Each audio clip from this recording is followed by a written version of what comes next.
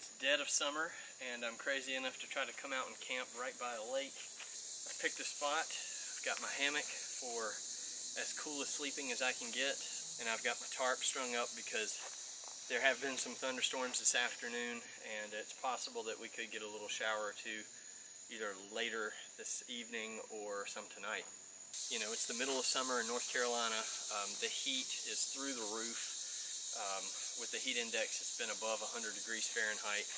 So just to let you know, I think in the dead of summer like it is now, you've got to change your mindset about camping. Um, a typical camp day for me in the fall or early spring or the winter time would be that I get up, I uh, you know, leave my house at like 10 o'clock. I swing in through Bojangles or some kind of fast food place and eat like a early big lunch eat a snack around 1 or 2 o'clock and then cook like a big meaty like steak or something for dinner. And uh, trust me, I have learned from so many failures and aggravations of trying to do that in the summer. It is not worth it. Um, just cooking over high heat when you don't want it and by the time you're done sweating it out trying to cook some monster steak and mashed potatoes, you don't even feel like eating it anymore and really you just want to go home and I've done that quite a few times. Um, so I just chilled out at my house today. I packed up really slowly. Um, you know, I, I, swung in through a fast food place and grabbed a little bite for dinner right as I was coming in. I hit the water at like 6, um, paddled around, and here I am, you know, a couple hours later. It's hot, it's humid, um, but I'm comfortable at the moment. I brought my fishing rods and I'm just gonna I'm gonna sit out here and catfish um, and just chill out. I brought a cooler uh, that has you know some Gatorade and some um, little snack foods and things. Um, and so this is going to be you know um, a, a, low impact, low intensity um, camping trip, which in my opinion is perfect for the summer.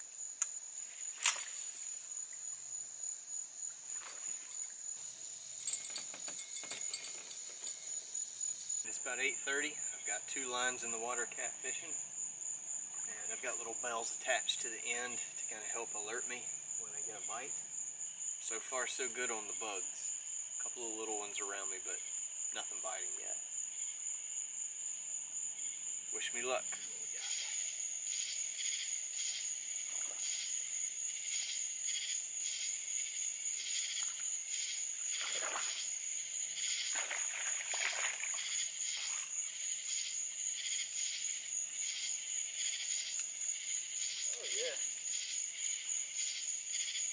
decent sized catfish.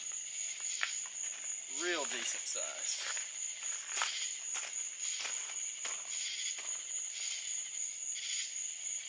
That one's a keeper. I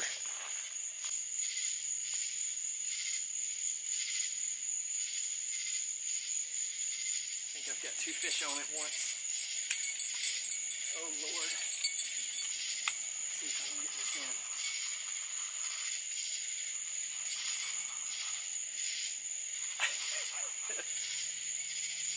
yeah, there's a fish on this one. not fighting hard, but sometimes those big catfish don't fight hard. They're just logs to pull in.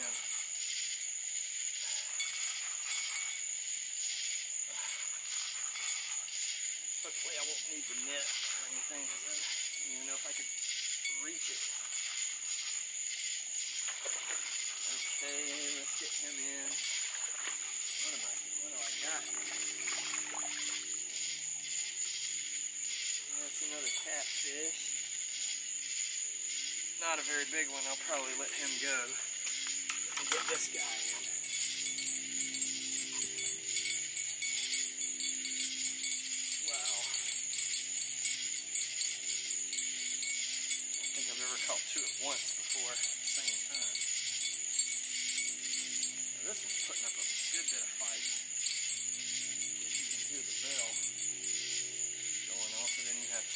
time to take it off the, the line.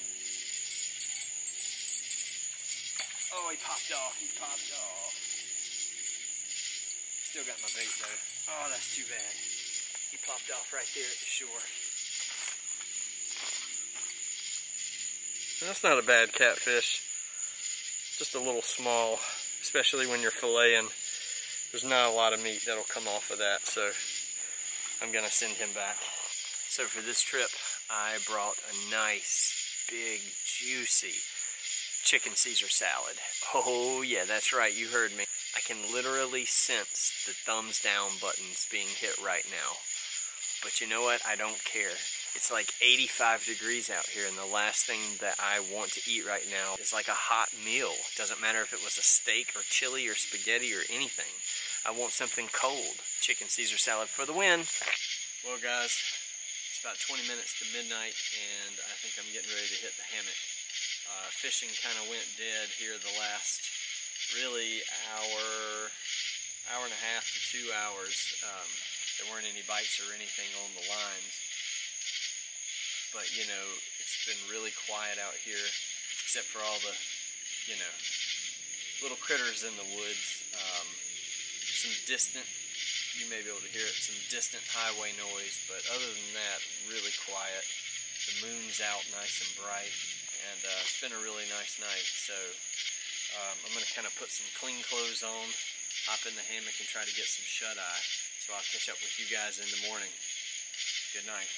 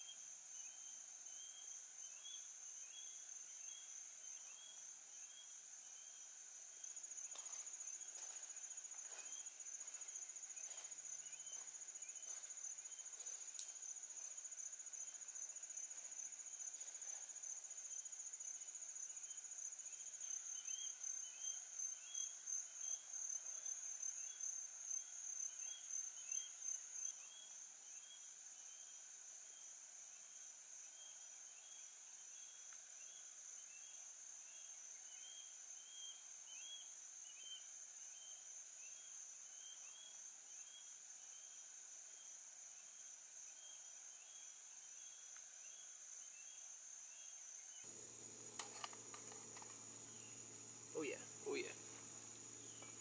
Got a boil.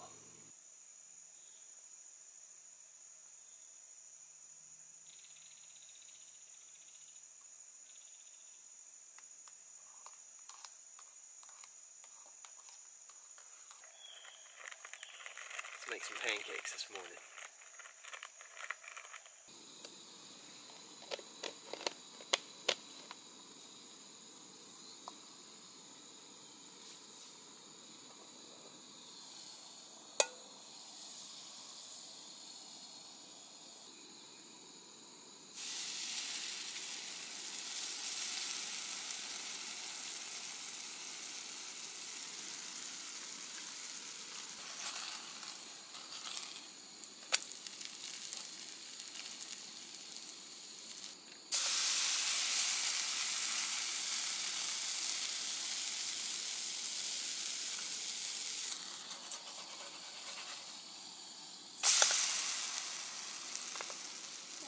Not too shabby.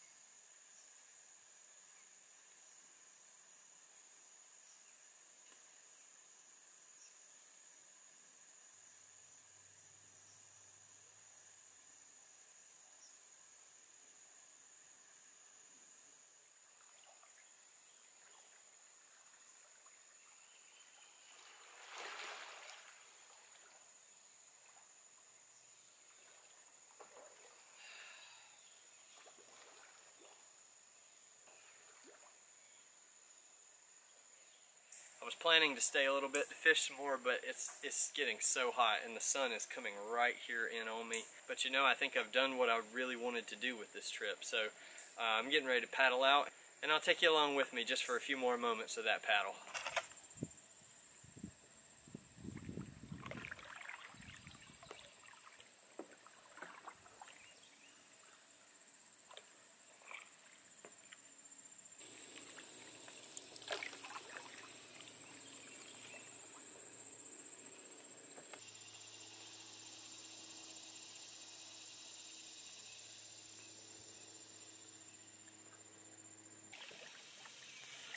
Well gang, that's going to do it for this video. I uh, really appreciate you joining me. I uh, don't do a lot of summer camping because it's just not easy here in North Carolina. And I know there's a lot of places around the southeast that are the same way where it's just too hot. But I wanted to show that camping can be done in the summer. It just has to be done the right way. I have learned my lesson so many times of, of failing over and over of trying to make what I do in like a fall, spring, or even winter camp happen in a summer camp and it's always miserable. It never works out and nine times out of ten I end up bailing on the, the trip because I'm just, I'm just, like I said, I'm just miserable. So it can be done um, and it can be enjoyable but you have to do it the right way and you've got to get your mind right. Well, I hope this encourages you to get out no matter what the temperature may be. Thanks so much for being with me. We'll see you on the next trip.